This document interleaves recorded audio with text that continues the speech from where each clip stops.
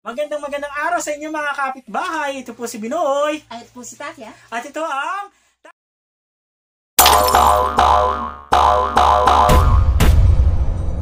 Takya and Binoy Show! Nagkaroon ng pagbabago ang ating channel. Ang pinakaabangan ninyong palabas dito sa balat ng YouTube. At ito ang kaunahang-unahang episode ng Takya and Binoy Review! Ah, dito ay re-reviewin natin ang mga pelikula, palabas, no, hindi lamang sa YouTube kung hindi maging sa mainstream kung may kakaroon tayo ng pagkakataon. At yun yung isa sa mga bahagi ng artsy-fartsy ng, ng Channel natin. channel natin. At magkakaroon din tayo ng Takya and Binoy Talk. Ang Takya and Binoy Talk, ito yung regular na pagbusisi natin paghihimay-himay sa mga isyong panlipunan at pampulpolitika no na madalas natin ginagawa. At syempre ang Takya and Binoy React. Ito naman yung pagre-react natin sa mga bagong talento sa mga music videos ano ah, na alam natin na kina pananabikan din ng ating mga manonood. At sa unang episode nga ng ating Takya and Binoy review ay titingnan natin ang bagong palabas sa YouTube ng Idea First Company Incorporated na Pearl Next Door or PND na pinagbibidahan ni Adriana So. ah, Yana Bernardes, Rachel Coates, at si Davao Conyo na si Philip T. Hernandez. No? Ah, napanood natin ano yung unang dalawang episodes talagang this show I can tell you It rocks. Okay? Bagaman sensitibo ang pinag-uusapan dahil ito katulad din ng uh, original na YouTube series ng Idea First na gay, uh, game, ano ba yun? Game Boys ay nag, pinag-uusapan din dito ang tungkol sa sexualidad na matutuklasan natin na sa Pearl ay isang no, ang ating magandang chinita ay bisexual female pala. No? At nakakatuwa yung kanilang dalawang episode dahil ako mismo kinilig. Hindi, Gusto ko sanang himay-himayin yung, yung mga issues dun sa series. Kung ano, ano yung nagkaroon ng impact sa'yo habang pinapanood mo yung, yung series. Ang unang-unang glaring fact na talagang inilabas ng Pearl Next Door ay una, bisexual is always invisible in the spectrum of LGBTQA plus community. Ah, ako po kasi, si Binoy ay isang bisexual male, no? Pero ako ay married, happily married for 12 years, mag-anniversary na kami sa 17, no? Pero, yun nga, ang laging sinasabi, kapag bisexual ka, ikaw ay confused. Kasi, unang-una sa lahat, ano nga ba talaga yung pagiging bisexual? Bisexuality, by definition and by, hindi siya by theory, kundi by practice, is uh, physical and romantic attraction for both sexes. Halimbawa, ako, pwede ako magkagusto sa lalaki at magkaroon ng sexual ah, relationship and romantic relationship sa lalaki. At pwede rin ako magkaroon ng romantic at sexual relationship sa babae. Marami ang nagsasabi na naka, nalilito lang kami. Either bakla ka or tibu ka na you are actually experimenting on yourself and later on that you would find yourself as a homosexual. So, kumbaga, sa kulay ng bahaghari, yun, no, sa LGBTQI ah, plus, eh, laging sinasabi na bisexual, male and female, do not exist. No? Hindi po. Totoo po yun. At yun ay pinatutunayan ng karakter ni Adriana. So, ngunit ang conflict doon, ah, katulad ng ah, tanong na ni Aguirre, no, ang karakter ni Yana, ah, ay Si Yana, ay, hindi si Aguirre. Ay, mali. Baliktad. si ano nga pala siya, si, ano nga apelido niya? Ah, si Alex Aguirre nga pala. Ay, yung okay na yung may outtakes. Ang character ni Gregorio. Mali. Sorry. Magkama. Ni Alex Gregorio. Hindi. Ni Carlin Gregorio. Ni, ni Carlin Gregorio na pinoportray niya na ay siya ay isang lipstick lesbian. Eh, Yung take mo dun sa, di ba, tinanong siya ni... Are you ano, even ni- gay? Are you even gay? Tapos kung... hindi nakasagot kagad si ah, Pearl. Sabi niya, di ba, I like men, but I but I like you. Ganyan siya, di ba? So, meaning bi siya.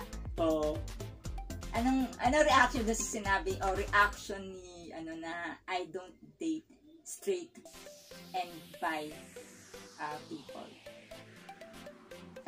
may backstory kasi yun eh, no? Ah, hindi kasi, may iba rin kasi yung karanasan. Pero batay dun sa pinaka-premise nung storya, may karanasan kasi si yung character ni Hiyana na si Car ni ano Carlin no Oo. si Carlin na yung ibang nakakadate niya na sinasabi na sila ay bisexual Nakarelasyon na. Oo, nakarelasyon na na sila ay bisexual but it turns out that they are actually straight girls. Therefore, uh, heterosexual girls will always go for heterosexual boys. Hindi po yun hiwaga. Ah, yung iba ay masasabi natin, natin kasi mga bi-curious, mayroong iba na they are actually on the exploratory side ng kanilang sexuality, trying to become uh, ac- acquainted or romantically entangled with male and female, but it turns out that they would discover from themselves that they either uh, they are gay person or they are straight person. Either they are homosexual or lesbians or they are uh, masasabi natin na straight girls or pero pag bisexual talaga dal- dalawa talaga yung yung magugustuhan no sexually and romantically. Meron kasi talaga ng mga ah, lesbians na masyado silang mas mahigpit pa kaysa sa lalaki. Kumbaga uh, they are being empowered by emotions no some of them. Kaya ang nangyayari nasasakal sa relasyon yung mga ano ah naiiwan na ang nangyayari at the end of the day naiiwan sila. So they will the, the person that they love or the person that actually romantically entangled with will left them for another person. So mas madalas yung ganong klase ng ah, sitwasyon. Pe- Oo, kasi actually napaka salimuot na pag-usapan when it comes to relationships and sexuality. Kasi nga, hindi naman natin po pwedeng gawin na o generalize na oh, kasi ito bisexual na to eh ano. So parang ang mangyayari promiscuous naman yung isa kasi meron siyang karelasyon na ganito eh na lesbian tapos bigla siyang lilipat sa lalaki. So there's something wrong with that kind of premise kasi ah marami naman talaga yung nagtatagal. So, in other words, we need to know the backstory. Yes, we need Kaya to ako know na the naman tinatanong sa iyo. Kasi may mga, nakikita rin ako ibang reviews na medyo inaatake yung character ni ni Colleen. Ang tinatanong ko, kailangan bang alamin yung backstory? Napaka-importante kasi alamin yung backstory kesa mag-judge tayo doon sa character. Kasi baka mamaya may nag-exist talaga yung ganong character eh. O in real life, hindi natin alam. May mga ganong tao na na-involve sa ganong situation. Oo. And we don't want to be judged na base dun sa nakikita lang natin dun sa sa ngayon. Oo, kasi ang maganda kasi niyan dahil ito ay series, nagpo-progress yung storya. Yes. Pero dapat ang magiging ang magiging caution kasi diyan eh maganda na maipaliwanag din doon sa palabas mismo ah, yung backstory ni Carlene. Kasi ah, mukhang painful yung naging karanasan Mhm. noong Ale, no? Uh, tatandaan po ninyo lesbians and lesbian women, however, their uh, sexual orientation is like that, no? Na yung kanilang romantic, uh, uh, ang kanilang romantic center, ang center ng kanilang emotion ay yung same na sex yung babae. No? So, magandang mahimay yung character nung dalawang bagong pasok. Si si Alex at Saka si si Carlene. Bakit si Carlene ganun yung ganun yung kanyang naging umpisa? Oh, mga reaction kasi na parang in, inahatak ko yung character ni Carlin since parang it's a, it's against uh, bisexual or straight people. Yun yung kailangan natin alamin muna kasi Oo. baka may mga dahilan kung bakit ayaw niya makipagrelasyon doon sa doon sa mga sa ganong gender. I, yun din naman yung maganda sa idea first. Nakita ko rin naman doon sa Game Boys kung paano nag-progress yung character, yung, yung bawat character Mm-mm. dun sa dun sa series na yun. So, hopefully, ah, makita natin yung ah, yung progression ng character ni Colleen. Ni Colleen. And at the same time, maliwanagan tayo kung bakit nag ah, nag-turn out na ganun yung character niya. Actually, in the second episode, kung na kung nakapanood na sila ng second episode, makikita natin na the feeling is mutual. Ang problema kasi doon kay Carlene, natatakot siya na maulit-ulit yung istorya. Eh, Yes. yun yung pinaka backstory noon. Kung ano. Pero kung mag maganda mapusbus din ang isip ng idea first na o sige, bigyan natin ng backstory yung bawat character na magbibigay ng mas makulay at bigyan ng kahit bahagya o ng sneak peek lang, kahit yung bird's eye view lang nung bawat character. Of course, na nakapalibot dun sa main. Kasi kung titingnan natin, ah, main character kasi natin si Pearl, nakita na natin yung development na sexuality niya. No? At ang ano natin, ang magandang makita, ano yung backstory ni Carlin, bakit ganun siya, na dinidinay niya yung kanyang feelings para kay Pearl. At ito namang isang si Alex na nagbabalik na labing dalawang taon na raw niyang gusto si Pearl, ay tingnan din natin ano yung kanyang backstory. In fairness, di ba may kontra sila? Oo. Yung yung isang character, pigil na pigil siya. Oo, di ba? reserve yung feelings niya. Oo, pigil na yung isa pigil naman siya. all out. Yung isa, Kaya nga 'di ba, yung magandang maganda rin maganda rin yung theory na yung theory na yun ni Pearl eh. X and constant. No kumbaga sa mathematics at saka sa physics and chemistry, meron laging constant. Constant is always K. Wala naman daw. 'Di ba? May X. Yung X is the one is being pursued na hindi mo makuha-kuha.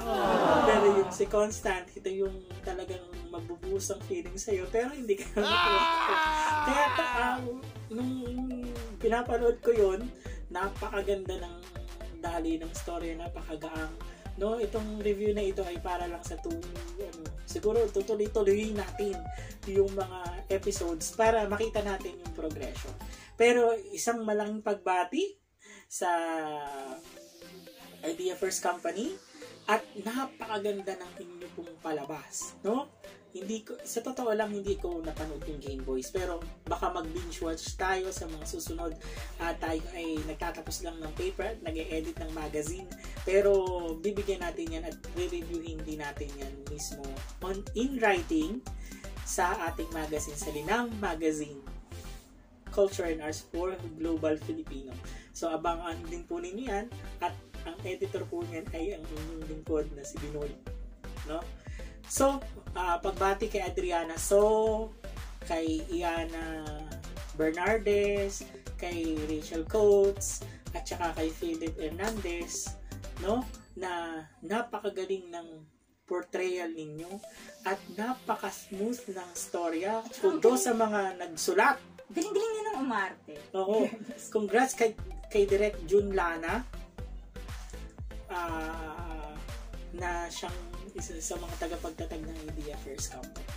So abangan po ninyo yun, ano, we highly recommend Takia and Binoy show highly recommends ah, for you to watch Pearl Next Door. So yun, ang kauna-unahan nating ah, episode ng Takia and Binoy show reviews At abangan po ninyo ang mga susunod pa na ayun, abangan ninyo yung aming, mga reaction doon sa mga sumisikat na P-pop, kung ano man pop yan, kahit Mhm. popcorn. Yun yung ano natin. No? Actually, nagkaroon tayo ah, earlier. Pero masusundan pa yan. So, watch Oo. out for it. So, huwag po ninyo kakalimutan na mag-like at mag-subscribe Click the notification button. Oo, para meron kayong update sa aming munting channel. So, maraming maraming salamat mga kapitbahay! At hanggang sa muli sa Takya and Binoy Show. Ano na ang mga kapitbahay?